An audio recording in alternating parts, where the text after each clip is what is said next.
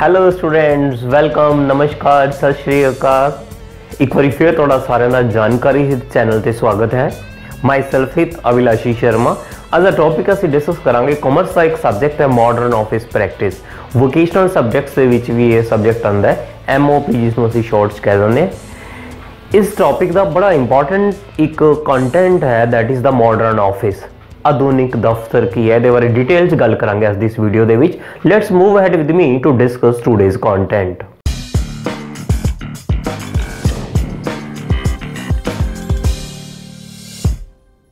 Yes, students. For a layman, office means a place where many clerks sitting together and do some work. Layman ਮਤਲਬ ਹੁੰਦਾ ਆਮ ਵਿਅਕਤੀ। ਇੱਕ ਆਮ ਵਿਅਕਤੀ ਦੇ ਲਈ ਦਫ਼ਤਰ ਦਾ ਮਤਲਬ ਕੀ ਹੈ? ਜਿੱਥੇ ਬਹੁਤ ਸਾਰੇ ਕਲਰਕ ਬੈਠੇ ਹੋਣ ਤੇ ਲਿਖਣ ਪੜਨ ਦਾ ਕੰਮ ਕਰ ਰਹੇ ਨੇ ਲਗਾਤਾਰ। ਤੁਸੀਂ ਠੀਕ ਹੋ? ਬਿਲਕੁਲ। ਪਰ ਆਫਿਸ ਸ਼ਬਦ ਨੂੰ ਅਸੀਂ ਸਮਝਣ ਦੇ ਲਈ ਅਸੀਂ ਪੁਰਾਤਨ ਇਤਿਹਾਸ ਤੇ ਜੇਕਰ ਨਜ਼ਰ ਮਾਰੀਏ, ਇੱਕ ਗੱਲ ਕਲੀਅਰ ਹੈ ਜੋ ਗ੍ਰੀਕ ਤੇ ਰੋਮਨ ਸਾਮਰਾਜ ਸੀ, ਉਸ ਤੋਂ ਹੀ ਦੇਖਣ ਜਾ ਰਿਹਾ ਹੈ ਕਿ ਉਸ ਟਾਈਮ ਵੀ ਦਫ਼ਤਰ ਦੀ ਜਿਹੜੀ ਭੂਮਿਕਾ ਹੈ ਬੜੀ ਇੰਪੋਰਟੈਂਟ ਹੈ। ਜੇ ਅਸੀਂ ਹੋਰ ਇਹਨੂੰ ਗਹਿਰਾਈ ਨਾਲ ਸੋਚੀਏ, ਜਦੋਂ ਦੀ ਜੋ ਮਨੁੱਖੀ ਸਭਿਅਤਾ ਨੇ ਵਿਕਾਸ ਕੀਤਾ ਹੈ ਐਗਜ਼ਿਸਟੈਂਸ ਆਉਣ ਤੋਂ ਬਾਅਦ ਜਿਉਂ-ਜਿਉਂ ਵਿਕਾਸ ਕਰਦੀ ਚਲੀ ਗਈ, ਤਾਂ ਸਭਿਅਤਾ ਦੇ ਵਿੱਚ ਦਫ਼ਤਰ ਦੀ ਭੂਮਿਕਾ ਉਦੋਂ ਤੋਂ ਹੀ ਮਹਿਸੂਸ ਕੀਤੀ ਗਈ। ਲੇਕਿਨ ਜੋ ਅਸੀਂ ਲਿਖੀ ਹੋਈਆਂ ਚੀਜ਼ਾਂ ਨੂੰ ਜਿੱਥੇ ਤੱਕ ਪੜਨ ਦੀ ਕੋਸ਼ਿਸ਼ ਕਰਦੇ ਹਾਂ, ਤਾਂ ਗ੍ਰੀਕ ਸਾਮਰਾਜ ਦੇ ਵਿੱਚ ਜਾਂ ਰੋਮਨ ਸਾਮਰਾਜ ਦੇ ਵਿੱਚ ਦੇਖਣ 'ਚ ਮਿਲਦਾ ਹੈ ਕਿ ਚਰਚਿਸ ਦੇ ਵਿੱਚ ਬਹੁਤ ਸਾਰਾ ਰਿਕਾਰਡ ਤਿਆਰ ਕਰਨ ਦੇ ਲਈ ਬੱਚਿਆਂ ਦੇ ਬਰਥ ਨਾਲ ਸੰਬੰਧਿਤ ਤਾਂ ਉੱਥੇ ਕਲਰਕਸ ਬਿਠਾਏ ਜਾਂਦੇ ਸੀ ਇੱਕ ਪਾਰਟਿਕੂਲਰ ਪਲੇਸ ਦੇ ਉੱਤੇ। ਉੱਥੋਂ ਹੀ ਉਹ ਦਫ਼ਤਰ ਦਾ ਸ਼ਬਦ ਇੱਕ ਵਿਵਹਾਰਿਕ ਰੂਪ ਚ ਆਇਆ ਕਿਉਂਕਿ ਦਫ਼ਤਰ ਇੱਕ ਸੈਂਟਰ ਪੁਆਇੰਟ ਬਣ ਗਿਆ, ਆਫਿਸ ਇੱਕ ਸੈਂਟਰ ਪੁਆਇੰਟ ਬਣ ਗਿਆ, ਜਿੱਥੇ ਡਿਫਰੈਂਟ ਟਾਈਪ ਦੀ ਇਨਫੋਰਮੇਸ਼ਨ ਨੂੰ ਇੱਕ ਜਗ੍ਹਾ ਤੇ ਨੋਟ ਕੀਤਾ ਜਾ ਸਕਦਾ ਹੈ।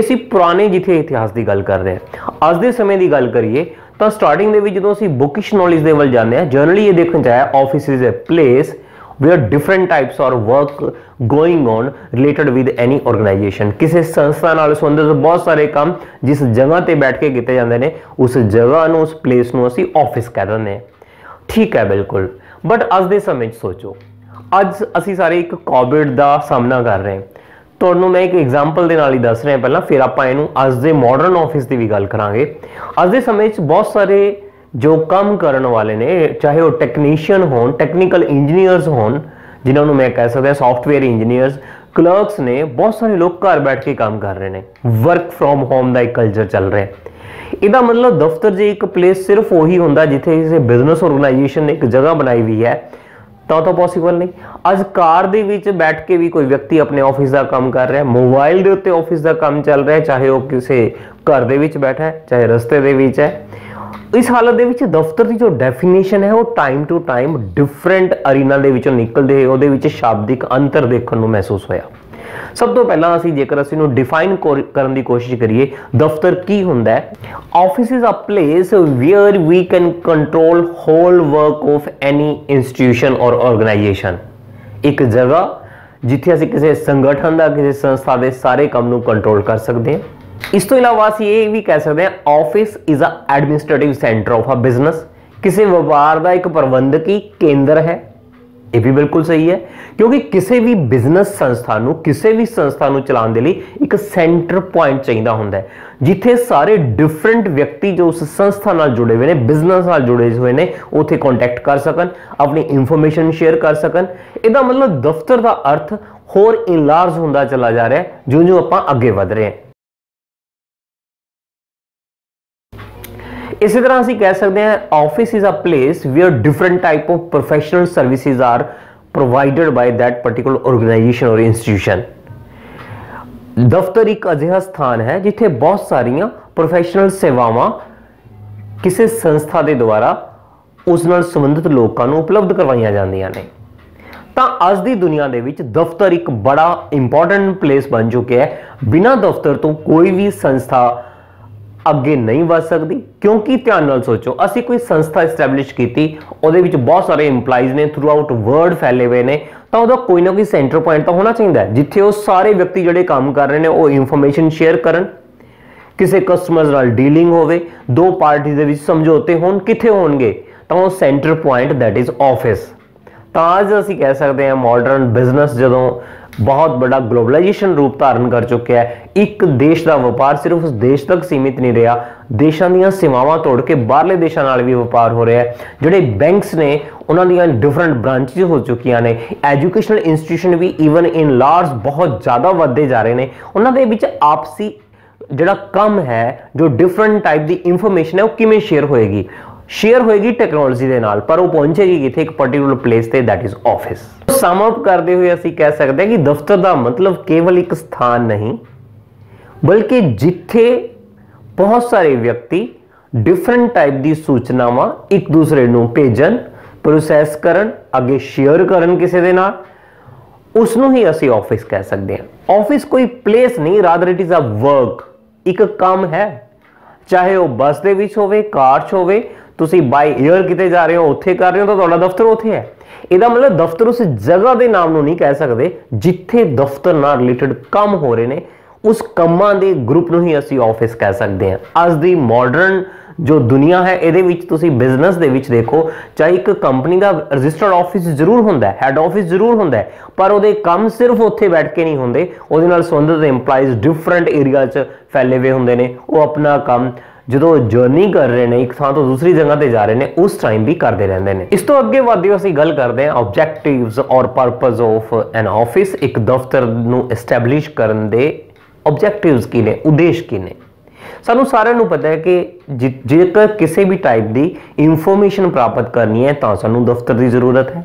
To get any type of information to make decision ਕਿਸੇ ਵੀ ਟਾਈਪ ਦੇ ਕੋਈ ਫੈਸਲੇ ਲੈਣੇ ਨੇ, ਤਾਂ ਵੀ ਸਾਨੂੰ ਦਫ਼ਤਰ ਦੀ ਜ਼ਰੂਰਤ ਹੈ, ਜਿੱਥੇ ਬੈਠ ਕੇ ਕੋਈ ਮੀਟਿੰਗ ਹੋ ਸਕੇ, ਕੋਈ ਵਿਅਕਤੀ ਆਪਸ ਗੱਲ ਕਰ ਸਕਣ ਤੇ ਕੋਈ ਡਿਸੀਜਨ ਲੈ ਸਕੇ, ਤਾਂ ਵੀ ਦਫ਼ਤਰ ਦੀ ਜ਼ਰੂਰਤ ਹੈ। ਫਿਊਚਰ ਦੇ ਰਿਗਾਰਡਿੰਗ ਕੋਈ ਪਲਾਨਸ ਕਰਨੀਆਂ ਨੇ ਬਿਜ਼ਨਸ ਨੂੰ ਕਿਵੇਂ ਐਸਟੈਬਲਿਸ਼ ਕਰਨੇ ਅੱਗੇ ਕਿਵੇਂ ਵਧਣਾ ਹੈ, ਉਸ ਹਾਲਤ ਦੇ ਵਿੱਚ ਵੀ ਸਾਨੂੰ ਦਫ਼ਤਰ ਦੀ ਜ਼ਰੂਰਤ ਹੈ। ਇਸ ਤੋਂ ਇਲਾਵਾ ਬਿਨਾਂ ਰੁਕਾਵਟ ਤੋਂ ਲਗਾਤਾਰ ਕੰਮ ਚੱਲਦਾ ਰਹੇ ਸਾਰੇ ਵਿਅਕਤੀ ਜੋ ਉਸ ਦੇ ਨਾਲ ਸੰਬੰਧਿਤ ਨੇ ਆਫਿਸ ਦੇ ਨਾਲ, ਉਹ ਸਾਰੇ ਮਿਲ ਕੇ ਆਪਸ ਵਿੱਚ ਤਾਲਮੇਲ ਐਸਟੈਬਲਿਸ਼ ਕਰ ਸਕਣ, ਤਾਂ ਵੀ ਬਿਜ਼ਨਸ ਦੇ ਵਿੱਚ, ਕਿਸੇ ਆਰਗੇਨਾਈਜੇਸ਼ਨ ਦੇ ਵਿੱਚ ਦਫ਼ਤਰ ਦੀ ਜ਼ਰੂਰਤ ਮਹਿਸੂਸ ਹੁੰਦੀ ਹੈ। ਬਿਜ਼ਨਸ ਦੀਆਂ ਜੋ ਪਲੈਨਿੰਗਸ ਨੇ, ਜੋ ਪਾਲਿਸੀਜ਼ ਨੇ, ਉਹਨਾਂ ਨੂੰ ਇੰਪਲੀਮੈਂਟ ਕਰਨ ਦੇ ਲਈ ਵੀ ਆਫਿਸ ਦੀ ਜ਼ਰੂਰਤ ਹੈ, ਕਿਉਂਕਿ ਉੱਥੇ ਬੈਠ ਕੇ ਹੀ ਡਿਸੀਜਨ ਲਿੱਤੇ ਜਾ ਸਕਦੇ ਨੇ। ਉਹ ਪਾਲਿਸੀਜ਼ ਦੇ ਉੱਤੇ ਸਾਰੇ EMPLOYEES ਚੱਲ ਰਹੇ ਨੇ ਜਾਂ ਨਹੀਂ ਉੱਥੇ ਬੈਠ ਕੇ ਹੀ ਨਜ਼ਰ ਰੱਖੀ ਜਾ ਸਕਦੀ ਹੈ, ਉੱਥੇ ਡਾਟਾਬੇਸ ਤਿਆਰ ਕੀਤਾ ਜਾ ਸਕਦਾ ਹੈ। ਸੋ ਸਾਰੀ ਇਨਫੋਰਮੇਸ਼ਨ ਨੂੰ ਇੱਕ ਜਗ੍ਹਾ ਤੇ ਕਲੈਕਟ ਕਰਕੇ ਉਹਨੂੰ ਜਿੱਥੇ ਜ਼ਰੂਰਤ ਹੈ, ਉੱਥੇ ਭੇਜਣ ਦਾ ਕੰਮ ਉਸ ਤੇ ਪ੍ਰੋਸੈਸਿੰਗ ਕਰਨ ਦਾ ਕੰਮ ਵੀ ਸਾਰਾ ਦਾ ਸਾਰਾ ਦਫ਼ਤਰ ਦੇ ਵਿੱਚ ਕੀਤਾ ਜਾਂਦਾ ਹੈ। ਸੋ ਇਹਨਾਂ ਸਾਰੇ ਪੁਆਇੰਟਸ ਦੇ ਆਧਾਰ ਤੇ ਕਹਿ ਸਕਦੇ ਹਾਂ ਕਿ these are the objectives of any office ਇਹ ਮੇਨ ਉਦੇਸ਼ ਨੇ ਜਾਂ ਦਫ਼ਤਰ ਨੂੰ ਐਸਟੈਬਲਿਸ਼ ਕਰਨ ਦਾ ਜਿਹੜੇ ਪ੍ਰਮੁੱਖ ਕਾਰਨ ਨੇ, ਉਹ ਇਹ ਨੇ। ਆਓ ਗੱਲ ਕਰਦੇ ਹਾਂ ਅੱਗੇ ਕੈਰੈਕਟਰਿਸਟਿਕਸ ਆਫ ਐਨ ਆਫਿਸ ਇੱਕ ਦਫ਼ਤਰ ਦੀਆਂ ਵਿਸ਼ੇਸ਼ਤਾਵਾਂ ਕੀ ਹੁੰਦੀਆਂ ਨੇ। ਸਭ ਤੋਂ ਪਹਿਲਾਂ ਹੈ ਮੈਨੇਜਮੈਂਟ ਆਫ ਇਨਫੋਰਮੇਸ਼ਨ ਦਫ਼ਤਰ ਦਾ ਸਭ ਤੋਂ ਪਹਿਲੀ ਵਿਸ਼ੇਸ਼ਤਾ ਹੁੰਦੀ ਹੈ ਕਿ ਤਰ੍ਹਾਂ ਤਰ੍ਹਾਂ ਦੀ ਜੋ ਇਨਫੋਰਮੇਸ਼ਨ ਹੈ, ਉਹਨੂੰ ਮੈਨੇਜ ਕਰਦੀ ਹੈ।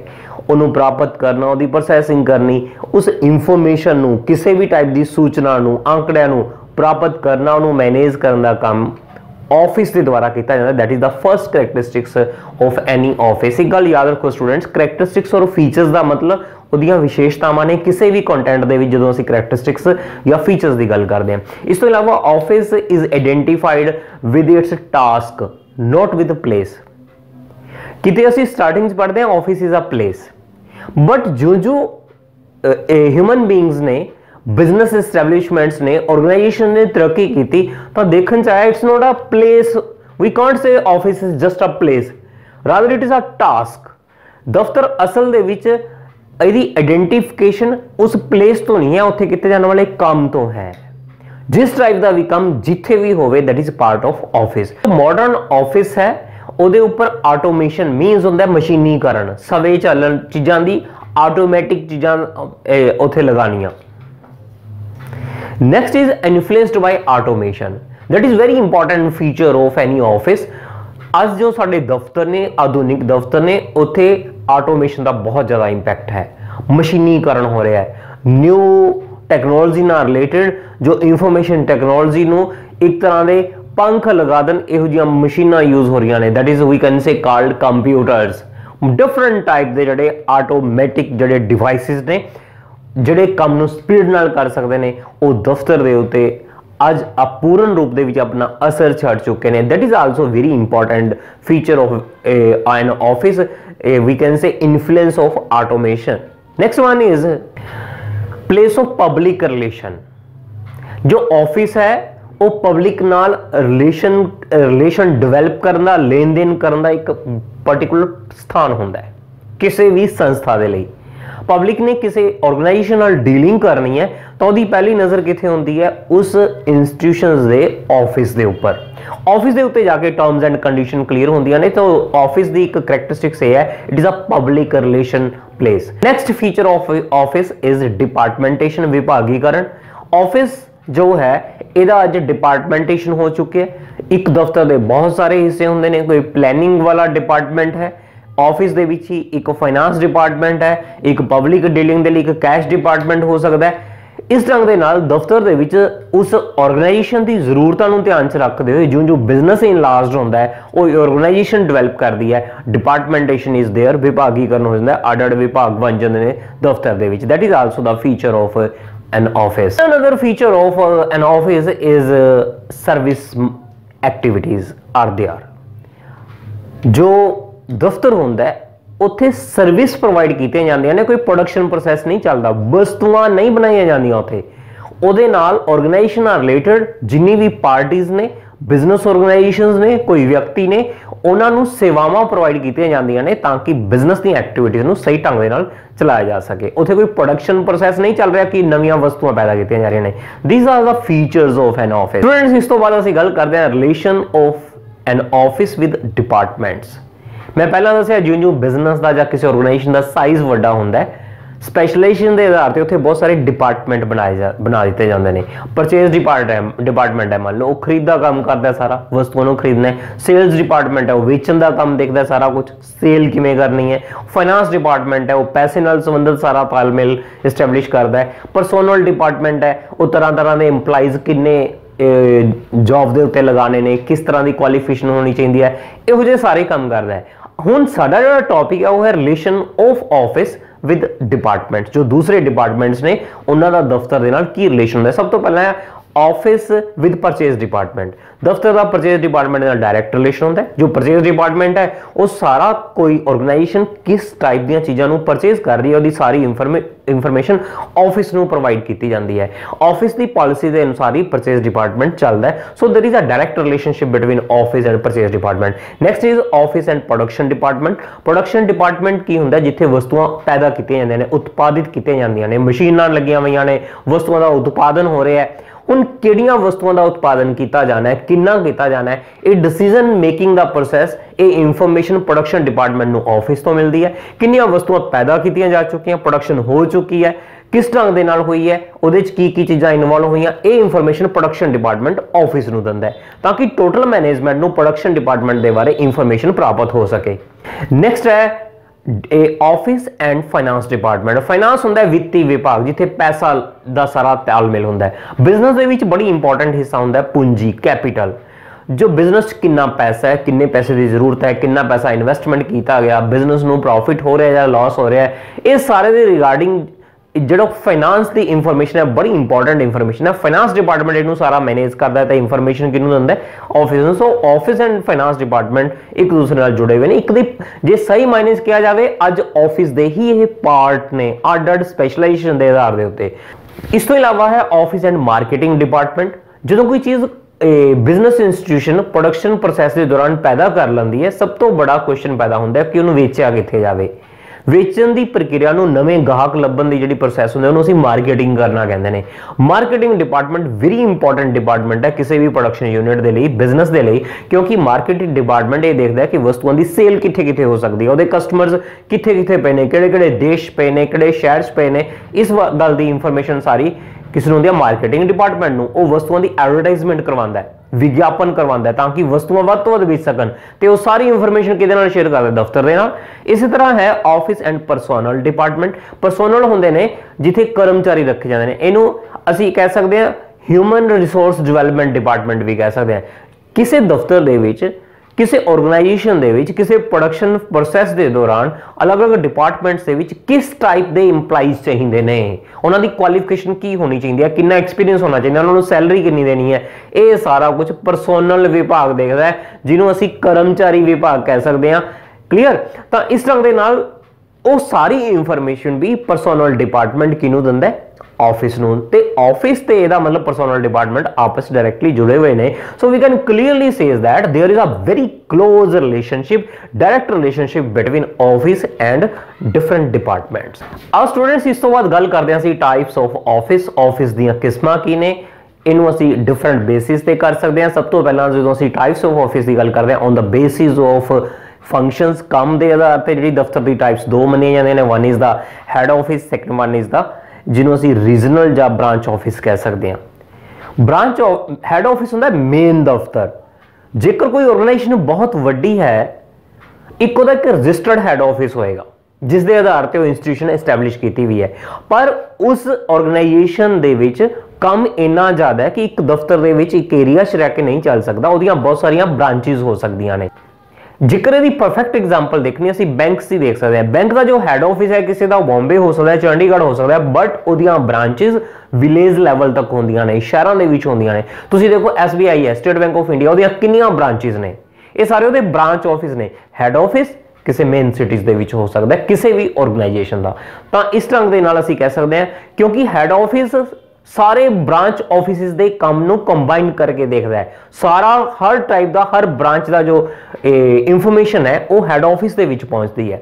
ਤੇ ਬ੍ਰਾਂਚ ਆਫਿਸ ਆਪਣੇ ਪਾਰਟਿਕੂਲਰ ਰੀਜਨ ਦੇ ਵਿੱਚ ਜਿੱਥੇ ਉਹ ਬੈਠੇ ਨੇ, ਉੱਥੇ ਕੰਮ ਕਰ ਰਹੇ ਹੁੰਦੇ ਨੇ। ਇਸ ਤਰ੍ਹਾਂ ਦੇ ਨਾਲ ਹੈੱਡ ਆਫਿਸ ਤੇ ਬ੍ਰਾਂਚ ਆਫਿਸ ਕਿਸੇ ਵੀ ਫੰਕਸ਼ਨਸ ਦੇ ਆਧਾਰ ਤੇ, ਉਹਨਾਂ ਦੇ ਕੰਮ ਦੇ ਆਧਾਰ ਤੇ ਦੋ ਹਿੱਸੇ ਹੋ ਸਕਦੇ ਨੇ। ਇਸ ਤੋਂ ਇਲਾਵਾ on the basis of location location ਹੁੰਦੀ ਹੈ ਸਥਿਤੀ। ਲੋਕੇਸ਼ਨ ਦੇ ਆਧਾਰ ਤੇ almost regional office and local offices ਹੋ ਸਕਦੇ ਨੇ। ਰੀਜਨਲ ਆਫਿਸ ਇੱਕ ਖਾਸ ਰੀਜਨ ਨੂੰ, ਇੱਕ ਖਾਸ ਖੇਤਰ ਨੂੰ ਦੇਖਦਾ ਹੈ। ਫੋਰ ਐਗਜ਼ਾਮਪਲ ਪੰਜਾਬ ਦੇ ਵਿੱਚ ਕਿਸੇ ਬੈਂਕ ਦਾ ਰੀਜਨਲ ਆਫਿਸ ਹੋਵੇ, ਇਹਦਾ ਮਤਲਬ ਹੋ ਸਕਦਾ ਉਹ ਸਾਰੇ ਪੰਜਾਬ ਦੇ ਜਿੰਨੀਆਂ ਉਹਦੀਆਂ ਬ੍ਰਾਂਚਿਸ ਨੇ, ਉਹਨਾਂ ਨੂੰ ਦੇਖ ਰਿਹਾ ਹੋਵੇ। ਤੇ ਫਿਰ ਬਾਅਦ ਚ ਹੈੱਡ ਆਫਿਸ ਨੂੰ ਇਨਫੋਰਮੇਸ਼ਨ ਦੇ ਰਿਹਾ ਹੋਵੇ। ਇਸ ਤਰ੍ਹਾਂ ਦੇ ਨਾਲ ਲੋਕੇਸ਼ਨ ਦੇ ਆਧਾਰ ਤੇ ਪੰਜਾਬ 'ਚ ਇੱਕ ਰੀਜਨਲ ਆਫਿਸ ਹੋ ਸਕਦਾ ਹੈ ਕਿਸੇ ਬੈਂਕ ਦਾ। ਇਸੇ ਤਰ੍ਹਾਂ ਇੱਕ ਰੀਜਨਲ ਆਫਿਸ ਯੂਪੀ ਦੇ ਵਿੱਚ ਹੋ ਸਕਦਾ ਹੈ, ਇੱਕ ਰੀਜਨਲ ਆਫਿਸ ਮਹਾਰਾਸ਼ਟਰ 'ਚ ਹੋ ਸਕਦਾ ਹੈ। ਤੇ ਮੰਨ ਲਓ ਉਹਦਾ ਜਿਹੜਾ ਹੈੱਡ ਆਫਿਸ ਹੈ, ਜੇ ਦਿੱਲੀ ਦੇ ਵਿੱਚ ਹੈ, ਤਾਂ ਸਾਰੇ ਰੀਜਨਲ ਆਫਿਸ ਇਨਫੋਰਮੇਸ਼ਨ ਕਿਹਨੂੰ ਦੇਣਗੇ? ਹੈੱਡ ਆਫਿਸ ਨੂੰ। ਅੱਗੇ ਰੀਜਨਲ ਆਫਿਸ ਡਾਇਰੈਕਟਲੀ ਕਿਹਦੇ ਨਾਲ ਜੁੜਿਆ ਹੋਏਗਾ? ਲੋਕਲ ਆਫਿਸਿਸ ਦੇ ਨਾਲ, ਜਿਨ੍ਹਾਂ ਨੂੰ ਅਸੀਂ ਬ੍ਰਾਂਚ ਆਫਿਸ ਵੀ ਕਹਿ ਸਕਦੇ ਹਾਂ। ਇਹ ਸੀ on the basis of location ਦੋ ਟਾਈਪ ਕਿਹੜੀ ਕਿਹੜੀਆਂ? One is the regional office second one is the local office ਇਸੇ ਤਰ੍ਹਾਂ on the basis of legal requirements ਕਾਨੂੰਨੀ ਜ਼ਰੂਰਤਾਂ ਦੇ ਆਧਾਰ ਦੇ ਉੱਤੇ ਵੀ ਦਫ਼ਤਰ ਦੀਆਂ ਅੱਗੇ ਦੋ ਕਿਸਮਾਂ ਨੇ। ਇੱਕ ਹੈ ਉਸ ਤੋਂ ਰਜਿਸਟਰਡ ਆਫਿਸ ਦੂਸਰੀ ਹੈ ਐਡਮਿਨਿਸਟ੍ਰੇਟਿਵ ਆਫਿਸਿਸ ਰਜਿਸਟਰਡ ਆਫਿਸ ਹੁੰਦਾ ਜਦੋਂ ਵੀ ਕੋਈ ਆਰਗੇਨਾਈਜੇਸ਼ਨ ਐਸਟੈਬਲਿਸ਼ ਕੀਤੀ ਜਾਂਦੀ ਹੈ, ਕੋਈ ਬਿਜ਼ਨਸ ਐਸਟੈਬਲਿਸ਼ ਕੀਤਾ ਜਾਂਦਾ ਹੈ, ਤਾਂ ਜਦੋਂ ਅਸੀਂ ਗਵਰਨਮੈਂਟ ਤੋਂ ਮਨਜ਼ੂਰੀ ਲੈਣੀ ਹੈ, ਤਾਂ ਸਾਡੇ ਇੱਕ ਪਾਰਟਿਕੂਲਰ ਹੈੱਡ ਆਫਿਸ ਦਾ ਇੱਕ ਰਜਿਸਟਰਡ ਦਫ਼ਤਰ ਪਹਿਲਾਂ ਗਵਰਨਮੈਂਟ ਤੋਂ ਮਨਜ਼ੂਰੀ ਲਿਆ ਜਾਂਦਾ ਹੈ। ਉਹਨੂੰ ਅਸੀਂ ਰਜਿਸਟਰਡ ਆਫਿਸ ਕਹਿੰਦੇ ਆ ਜਿਹੜਾ ਇੱਕ ਪਾਰਟਿਕੂਲਰ ਐਡਰੈਸ ਹੁੰਦਾ ਜਿਸ ਦੇ ਆਧਾਰ ਤੇ ਤੁਹਾਨੂੰ ਉਹ ਬਿਜ਼ਨਸ ਇੰਸਟੀਟਿਊਸ਼ਨ ਜਾਂ ਕੋਈ ਵੀ ਆਰਗੇਨਾਈਜੇਸ਼ਨ ਜਿਹੜੀ ਹੈ ਐਸਟੈਬਲਿਸ਼ ਕਰਨ ਦੀ ਇਜਾਜ਼ਤ ਮਿਲਦੀ ਹੈ। ਇਸ ਤੋਂ ਇਲਾਵਾ ਇੱਕ ਐਡਮਿਨਿਸਟ੍ਰੇਟਿਵ ਆਫਿਸ ਤੁਸੀਂ ਇੱਕ ਰਜਿਸਟਰਡ ਆਫਿਸ ਤਾਂ ਬਣਾ ਲਿਆ, ਪਰ ਤੁਸੀਂ ਦੇਖਿਆ ਕਿ ਸਾਰਾ ਪ੍ਰਬੰਧ ਉਥੋਂ ਨਹੀਂ ਚੱਲ ਸਕਦਾ। ਇਹਨੂੰ ਜਿਹੜਾ ਐਡਮਿਨਿਸਟ੍ਰੇਟਿਵ ਆਫਿਸ ਹੈ, ਇਹਨੂੰ ਪ੍ਰਬੰਧਕੀ ਦਫ਼ਤਰ ਵੀ ਕਹਿੰਦੇ ਨੇ। ਪਰ ਸਾਰੀ ਜਿਹੜੀ ਮੈਨੇਜਮੈਂਟ ਕਰਨੀ ਆ ਅਸੀਂ ਬਿਜ਼ਨਸ ਆਰਗੇਨਾਈਜੇਸ਼ਨ ਦੀ, ਕਿਸੇ ਬੈਂਕਿੰਗ ਆਰਗੇਨਾਈਜੇਸ਼ਨ ਦੀ, ਕਿਸੇ ਫਾਈਨੈਂਸ਼ੀਅਲ ਇੰਸਟੀਟਿਊਸ਼ਨ ਦੀ, ਤਾਂ ਉਹ ਸਾਰੀ ਦੀ ਸਾਰੀ ਜਾ ਕੇ ਐਡਮਿਨਿਸਟ੍ਰੇਟਿਵ ਆਫਿਸ ਤੋਂ ਹੁੰਦੀ ਹੈ। ਉਹਦੇ ਲਈ ਜ਼ਰੂਰੀ ਨਹੀਂ ਕਿ ਰਜਿਸਟਰਡ ਆਫਿਸ ਦੇ ਵਿੱਚੋਂ ਹੀ ਹੋਵੇ। ਇਸ ਢੰਗ ਦੇ ਨਾਲ ਕਾਨੂੰਨੀ ਜ਼ਰੂਰਤਾਂ ਨੂੰ ਧਿਆਨ 'ਚ ਰੱਖਦੇ ਹੋਏ ਦਫ਼ਤਰ ਦੇ ਦੋ ਹਿੱਸੇ ਹੋ ਸਕਦੇ ਨੇ। One is the registered office second one is the administrative office next on the basis of place ਸਥਾਨ ਦੇ ਆਧਾਰ ਤੇ ਜਿਹੜਾ ਦਫ਼ਤਰ ਹੈ, ਉਹਦੀਆਂ ਦੋ ਟਾਈਪਸ ਨੇ।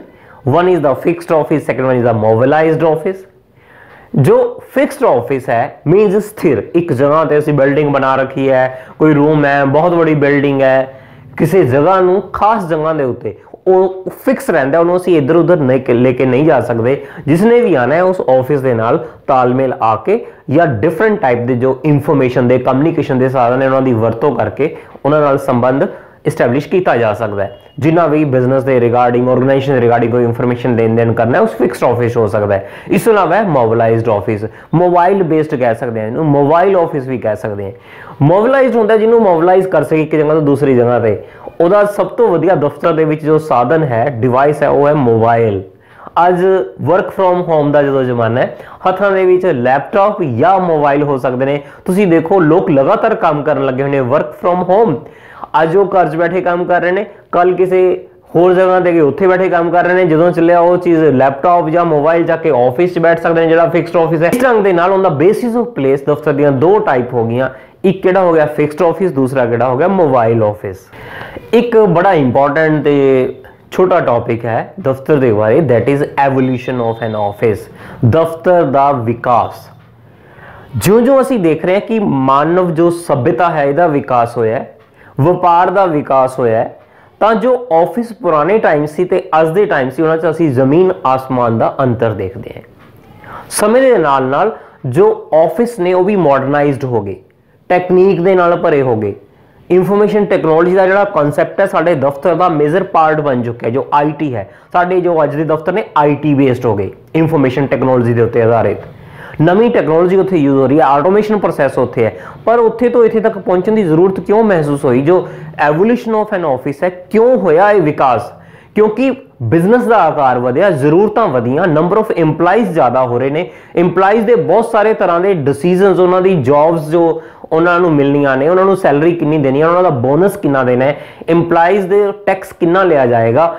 ਇਸ ਕਰਕੇ ਇੱਕ ਵਜ਼ਨ ਵੱਧ ਗਿਆ ਦਫ਼ਤਰ ਤੇ ਇਸ ਤਰ੍ਹਾਂ ਪ੍ਰੋਡਕਸ਼ਨ ਪ੍ਰੋਸੈਸ ਦੇ ਵਿੱਚੋਂ ਜਦੋਂ ਵਸਤੂਆਂ ਪਰਚੇਜ ਜਾਂ ਸੇਲ ਡਿਪਾਰਟਮੈਂਟ ਦੂਸਰੇ ਡਿਪਾਰਟਮੈਂਟ ਵਸਤੂਆਂ ਨੂੰ ਖਰੀਦ ਰਹੇ ਨੇ ਬਣਾਉਣ ਦੇ ਲਈ ਉਹਨਾਂ ਦੇ ਪ੍ਰੋਸੈਸਿੰਗ ਕਰਨ ਦੇ ਲਈ ਜਾਂ ਵਸਤੂਆਂ ਨੂੰ ਵੇਚਿਆ ਜਾ ਰਿਹਾ ਹੈ ਉਹ ਸਾਰਾ ਹਿਸਾਬ ਕਿਤਾਬ ਵੀ ਲਗਾਤਾਰ ਵਧਦਾ ਜਾ ਰਿਹਾ ਹੈ ਬਿਜ਼ਨਸ ਅੱਜ ਸ਼ਹਿਰ ਜਾਂ ਇੱਕ ਪਿੰਡ ਤੱਕ ਸੀਮਿਤ ਨਾ ਹੋ ਕੇ ਬਾਹਰਲੇ ਦੇਸ਼ਾਂ ਤੱਕ ਵੀ ਫੈਲ ਚੁੱਕਿਆ ਹੈ ਇੰਪੋਰਟ ਐਕਸਪੋਰਟ ਪ੍ਰੋਸੈਸਿਸ देयर ਉਸ ਸਾਰੇ ਹਿਸਾਬ ਦੇ ਨਾਲ ਬਿਜ਼ਨਸ ਦੇ ਜੋ ਆਫਿਸ ਨੇ ਉਹਨਾਂ ਦੇ ਵਿੱਚ ਵੀ ਨੇਚਰਲੀ ਵਿਕਾਸ ਹੋਣਾ ਹੀ ਹੋਣਾ ਸੀ ਕਿਉਂਕਿ ਬਿਜ਼ਨਸ ਐਕਟੀਵਿਟੀਜ਼ ਵਧ ਗਈਆਂ ਜਿਸ ਤਰ੍ਹਾਂ ਪਲੈਨਿੰਗ ਤਿਆਰ ਕਰਨੀ ਹੈ ਵੀ ਨੀਡ ਆਫਿਸ ਕਿਸੇ ਤਰ੍ਹਾਂ ਦੀਆਂ ਪਾਲਿਸੀ ਮੇਕਿੰਗ ਕਰਕੇ ਉਹਨਾਂ ਨੂੰ ਅਪਲਾਈ ਕਰਨਾ ਹੈ। ਵੀ ਨੀਡ ਅ ਆਫਿਸ ਇਸ ਤੋਂ ਇਲਾਵਾ ਕਿਸੇ ਟਾਈਪ ਦੀ ਇਨਫੋਰਮੇਸ਼ਨ ਅਲੱਗ-ਅਲੱਗ ਡਿਪਾਰਟਮੈਂਟ ਨਾਲ ਸ਼ੇਅਰ ਕਰਨੀ ਹੈ ਜਾਂ ਉਹਨਾਂ ਤੋਂ ਮੰਗਵਾਣੀ ਹੈ then we need an office ਇਸ ਤੋਂ ਇਲਾਵਾ ਬਾਹਰਲੇ ਦੇਸ਼ਾਂ ਦੇ ਵਿੱਚ ਜਾਂ ਆਪਣੇ ਦੇਸ਼ ਦੇ ਵਿੱਚ, ਆਪਣੇ ਸ਼ਹਿਰ 'ਚ ਕਸਟਮਰਸ ਨਾਲ ਰਿਲੇਸ਼ਨ ਡਿਵੈਲਪ ਕਰਨੇ ਨੇ ਤਾਂ ਕਿ ਵੱਧ ਤੋਂ ਵੱਧ ਗਾਹਕ ਸਾਡੇ ਆਫਿਸ ਆਰਗੇਨਾਈਜੇਸ਼ਨ ਦੇ ਵਿੱਚ ਪਹੁੰਚ ਸਕਣ।